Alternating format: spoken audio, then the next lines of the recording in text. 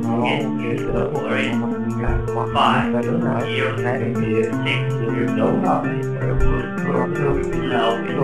zero, four.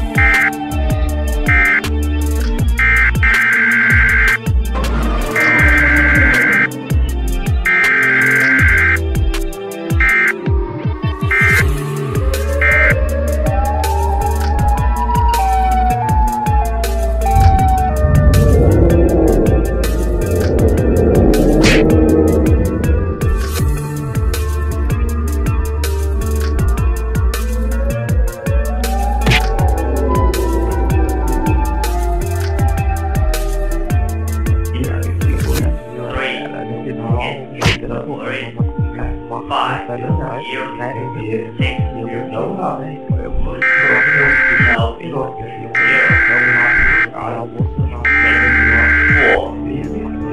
four, nine, once again, three, Two.